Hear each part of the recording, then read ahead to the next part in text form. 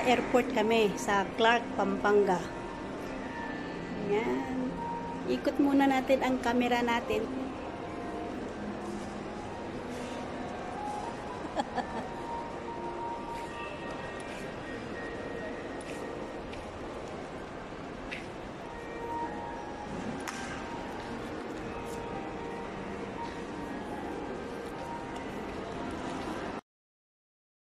Ayan na si auntie, naka-wheelchair. Senior citizen kasi. Kaya, ayan. Pupunta na kami doon sa gate namin. Ayan, sinusundan ko lang sila. Nasa likod lang ako. Nasa airplane na kami from Clark to Doha. At ayan, it's dinner time.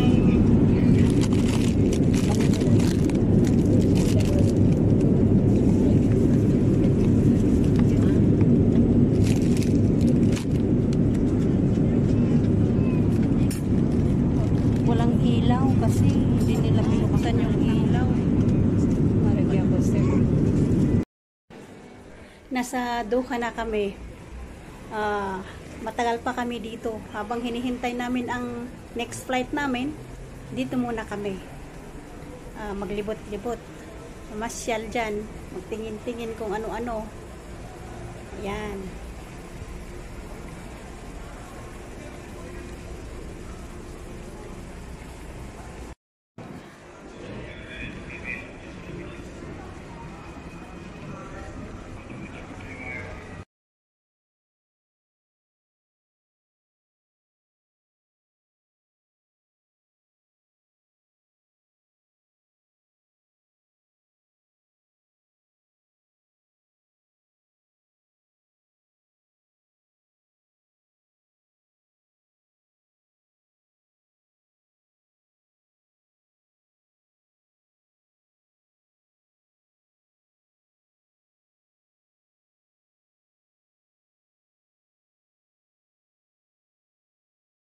Na. Taar ka ng mga lapit ko.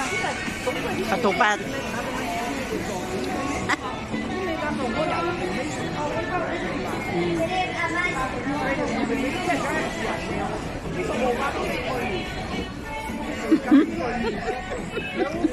Ay, pwede. Patupad. At duha.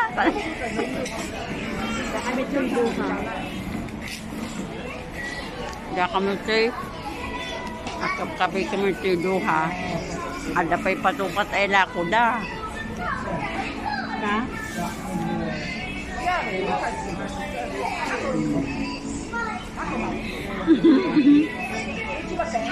Antay na.